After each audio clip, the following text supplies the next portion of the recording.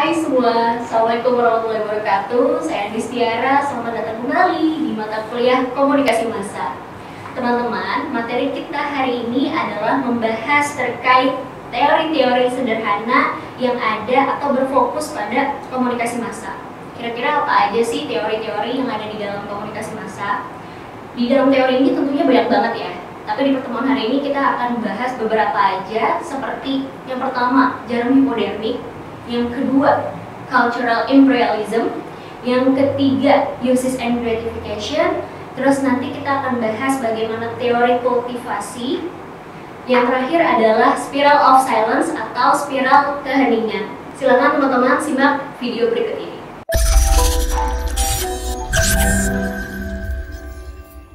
Sebelum kita lebih jauh membahas atau mengkaji apa saja teori-teori yang berkonteks pada komunikasi massa, saya akan menjelaskan atau nge-review sedikit nih teman-teman terkait dengan apa sih itu teori.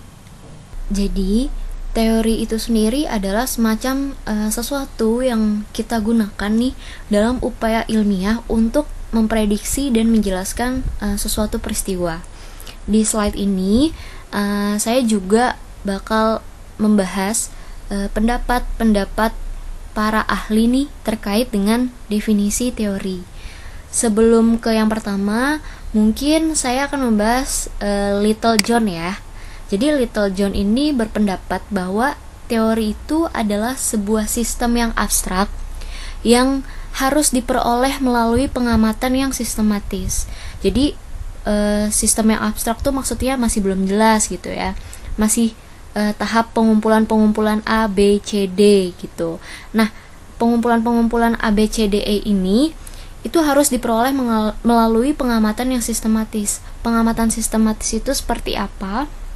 Jadi, pengamatan sistematis itu seperti teratur menurut sistem atau berjalan sesuai dengan aturan-aturan baik yang telah diatur oleh e, atau sesuai dengan kaidahnya gitu. Nah, selain Little John, si e, Griffin juga bilang nih kalau teori itu adalah seperangkat dugaan-dugaan sistematis tentang bagaimana sesuatu hal beroperasi atau berjalan. Pendapat ketiga itu dari Turner. Turner sendiri mendefinisikan teori e, sebagai proses mengembangkan ide-ide yang dapat memungkinkan kita untuk menjelaskan bagaimana dan mengapa peristiwa itu terjadi. Jadi nggak cum cuman ngebahas bagaimana, tapi kenapa sih peristiwa itu bisa terjadi gitu. Nah dari tiga e, pendapat definisi teori dari ahli-ahli tadi nggak ketinggalan nih si Popper juga menggunakan e, beberapa metafora untuk mendefinisikan apa itu teori. Nah, si Popper e, bilang kalau teori itu semacam atau sebagai sebuah jaring yang mana jaring ini untuk e, apa ya namanya menangkap digunakan untuk dilemparkan dan menangkap realitas yang ada dari dalam ataupun di luar sana. Tuh. Nah, yang kedua uh, ada metafora teori sebagai sebuah peta yang mana teori merupakan panduan atau rujukan nih untuk kita menjelaskan atau menjelajah, menjelajahi bahkan melakukan sesuatu. Ibaratnya kalau misalkan kalian keluar terus nggak tahu jalan ya kalian butuh peta gitu untuk memandu kalian menuju jalan yang kalian tuju. Nah itulah uh, teori gitu. Nah, yang ketiga uh, ada metafora teori sebagai sebuah uh, lensa yang mana teori sebagai sebuah lensa yang dimaksud adalah untuk dapat merefleksikan realitas yang sebenarnya. Kemudian yang terakhir, teori sebagai pilar ilmu yang mana memaksudkan bahwa teori merupakan kumpulan yang terdiri dari beberapa pengetahuan yang diorganisir dan diuji kebenarannya. Dari definisi Little John, uh, Turner, dan juga Griffin serta metafora K. Popper, akhirnya kita mendapatkan kesimpulan nih terkait dengan pengertian teori. Jadi di sini ada kesimpulan bahwa teori itu adalah penjelasan logis ya. Logis itu masuk akal. E, penjelasan logis empiris yang mana penjelasan ini kalian dapat dari pengalaman panca indera kalian. Itu yang dinamakan dengan empiris. Nah, pengalaman panca indera kalian yang kalian jelasin itu didasarkan pada observasi atau pengamatan. Tidak hanya observasi, tapi juga eksperimen dan berbagai penalaran-penalaran yang logis. Nah, setelah diobservasi, dieksperimen, dinalar dengan baik, si penjelasan ini juga sudah diuji dan dikonfirmasi sebagai prinsip umum gitu atau yang sudah disetujui dan gunanya untuk membantu menjelaskan dan memprediksi fenomena itu sendiri. Oke, kita lanjut. Dua pendekatan dalam teori komunikasi. Jadi, kenapa sih saya membahas ini sebelum masuk ke materi teori komunikasi massa? Sejauh ini, saya banyak mendapati teman-teman mahasiswa yang keliru gitu ya pada saat menyusun penelitian mereka. Jadi banyak yang penelitiannya sebenarnya paradigmanya konstruk dan kritis tapi menggunakan teori-teori yang sudah e, jelas konteksnya digunakan untuk penelitian kuantitatif. Nah, terus juga sebaliknya, ada penelitian kuantitatif tapi teori-teorinya masih teori teori-teori yang e, yang harusnya digunakan dalam konteks teori kualitatif. Nah, jadi e, apa ya?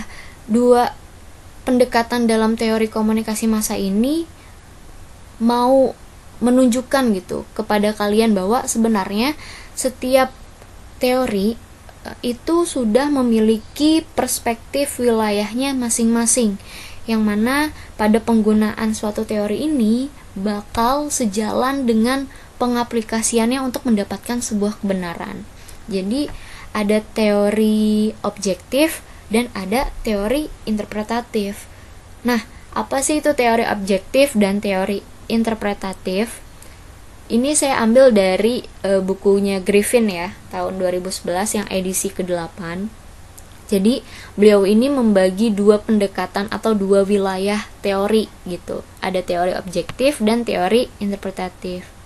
Jadi setelah ini saya harapkan kalian bisa membagi nih mana teori yang objektif dan harus dikaji dengan e, pendekatan penelitian kuantitatif dan mana teori interpretatif yang harus dikaji dengan penelitian kualitatif.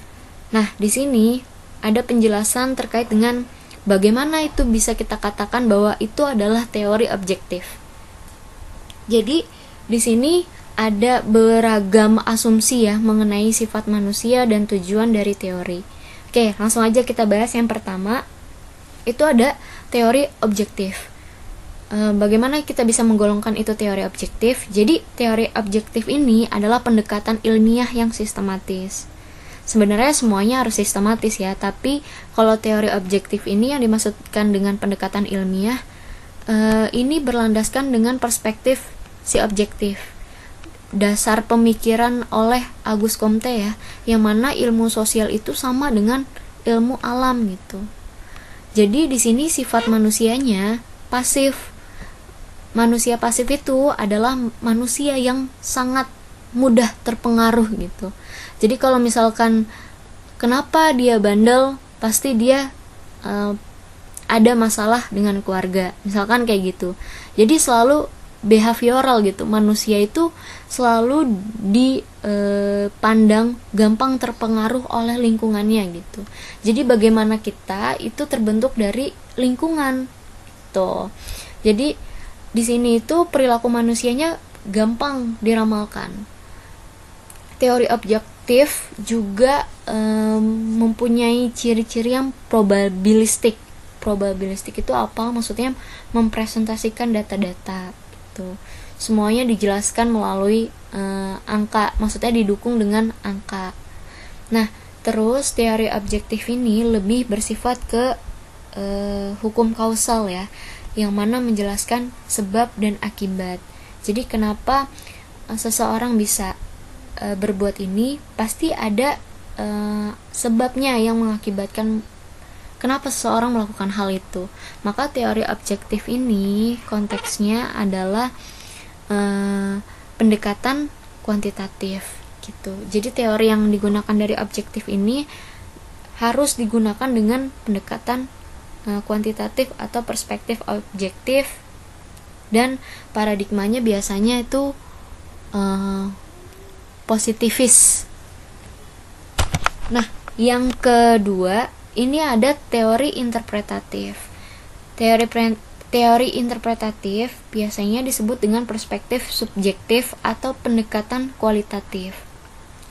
Di teori interpretatif ini menjelaskan uh, sifat manusia bahwa manusia itu aktif, dinamis. Manusia, manusia itu tidak pasif, tidak gampang terpengaruh oleh lingkungan gitu. Bukan lingkungan yang membentuk manusia, tapi manusialah yang menciptakan lingkungannya, yang membentuk lingkungannya. Manusia yang menciptakan struktur, bukan struktur yang menciptakan bagaimana manusia. Maka teori interpretatif ini tidak membahas atau di dalam kajian teorinya tidak membahas terkait dengan sebab akibat. Konteksnya tidak lagi membahas pengaruh. Karena di teori interpretatif lebih menjelaskan bahwa manusia itu lebih humanis, menekankan e, beragam perbedaan-perbedaan individual gitu. Jadi untuk memahami manusia ya harus dengan menjelaskan makna perilakunya gitu. Kenapa seseorang melakukan segala sesuatu pasti ada landasan nih atau hal-hal yang dia lakukan dalam melakukan sesuatu ada maknanya gitu. Jadi kayak berusaha untuk menjelaskan makna, memahami makna dari setiap perilaku manusia. Itulah ciri-ciri dari teori yang bisa digolongkan teori interpretatif gitu. Nah, di sini juga di sebelah kanan ada apa sih yang ngebuat teori objektif itu baik dan apa yang ngebuat teori interpretatif itu baik gitu. Ini saya rangkum dari bukunya Griffin bahwa teori objektif yang baik itu menjelaskan data ya. Terus dapat diprediksi e, bisa terlihat gitu mempunyai hipotesis-hipotesis tertentu, dugaan-dugaan sementara. Terus biasanya teori objektif itu relatif sederhana gitu. Nah, tadi ini yang empat e, berkaitan dengan nomor dua. Terus ini ada yang kelima, mudah digunakan seiring waktu gitu. Karena sifatnya yang e, apa ya, fungsi dari teori objektif ini untuk menguji kebenaran sebenarnya. Jadi bisa digunakan kapan aja gitu.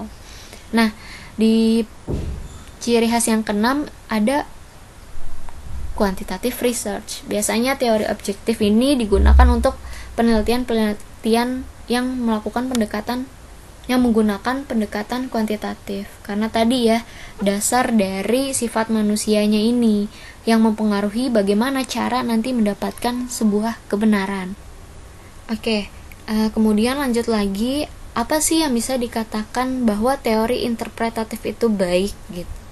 Teori interpretatif pasti akan memberikan pemahaman baru bagi seseorang, yaitu ya tadi karena teori interpretatif itu adalah reaksi dari teori-teori objektif gitu, yang mengembangkan hmm, ilmu-ilmu objektif. Makanya dia memberikan pemahaman baru bagi seseorang mengenai sifat manusia. Nah, yang kedua, uh, Teori interpretatif memiliki klarifikasi nilai. Terus dia bernilai estetika karena itu tadi sifat teori interpretatif menganggap bahwa manusia itu humanis. Terus yang keempat itu memiliki e, persetujuan dari kelompok. Yang kelima e, memiliki apa ya namanya ya? perubahan-perubahan pada masyarakat. Jadi di dalam teori itu membawa perubahan-perubahan pada masyarakat. Yang keenam, teori ini ya penelitian kualitatif tuh. Karena sifatnya yang tadi memahami manusia dengan menjelaskan makna perilakunya, yang menganggap manusia itu aktif, nggak gampang dengan pengaruh, maka penelitian ini harus dilakukan dengan pendekatan kualitatif. Seperti itu teman-teman. Setelah kalian sudah mampu nih membedakan mana teori yang uh, tergolong teori objektif dan mana teori yang tergolong teori interpretatif. di sini kalian akan membahas tentang teori-teori komunikasi massa. Saya berharap nanti dari beragam teori komunikasi massa yang dijelaskan, kalian sudah dapat nih menggolongkan, oh ternyata ini teorinya adalah teori objektif dan harus dilakukan dengan pendekatan kuantitatif. Dan sebaliknya, oh ini adalah teori yang sifatnya interpretatif, maka dilakukan dengan pendekatan kualitatif gitu. Jadi setelah udah bisa ngebedain, maka tentu akan mempengaruhi bagaimana metode yang akan kalian gunakan. Sedikit e, mengingatkan kembali bahwa sebenarnya komunikasi massa itu bisa disebut dengan komunikasi media massa karena komunikasi massa itu sendiri adalah e, sebuah cara berkomunikasi atau penyampaian pesan atau informasi yang dilakukan melalui media massa. Maka berbicara komunikasi massa tidak akan berbeda dengan kalau kalian membicarakan media massa itu sendiri. Terdapat beberapa teori komunikasi ya yang secara spesifik menitik beratkan pada komunikasi massa. Jadi e, beberapa teori lainnya yang digunakan untuk meneliti media massa. Jadi dikhususkan untuk meneliti ya media massa gitu. Nah, sebelum lebih jauh nih teman-teman ke teori komunikasi massa, si Little John dalam bukunya nih di tahun 2009 dia ngebahas bahwa ada tiga kategori dari teori komunikasi massa. Jadi teori yang berkaitan dengan budaya dan masyarakat, terus teori-teori yang berkaitan dengan efek atau pengaruh uh, atau persuasi media, dan yang ketiga teori yang berkaitan dengan penggunaan dari media. Misalnya kalau penggunaan ini uses and gratification. Nah, selain dari tiga kategori teori komunikasi massa yang diungkapin Griffin, eh Griffin, Little John maksud saya, ada teori juga yang ngebahas tentang isi pesan media massa. Makanya tuh nanti ada semiotik, ada framing, kayak gitu-gitu ya. Pasti udah belajar di MPK. Nah, jadi ya teori nggak cuma tiga ini gitu. Ada yang bahas budaya, pengaruh, terus ada penggunaan, ada isi pesan. Jadi kalau misalkan kalian punya penelitian, kalian harus lihat lagi nih yang kalian teliti itu adalah unsur komunikasi bagian mananya sih? Apakah kalian meneliti si medianya atau kalian meneliti efeknya atau kalian meneliti isi pesannya atau mau meneliti penggunaan medianya gitu. Ada banyak eh, teori-teori dalam komunikasi massa ya. Uh, salah limanya itu adalah jarum hipodermik, kultivasi teori, spiral of silence teori uh, atau kebisuan kebungkaman teori, terus ada uses and gratification, penggunaan dan kebutuhan teori, dan ada uh, cultural uh, imperialism teori. Nah, nggak cuma lima ini aja teman-teman, tapi banyak ada agenda setting, terus ada ekologi, ekologi media, ada uh, pesan media, ada difusi inovasi, semua terangkum dalam modul gitu ya. Tapi yang dalam PowerPoint ini saya menjelaskan hanya 5 teori ini saja. Demikian yang bisa saya jelaskan. Untuk melanjutkan materi mengenai teori komunikasi massa, kita akan menuju ke bagian kedua ya teman-teman.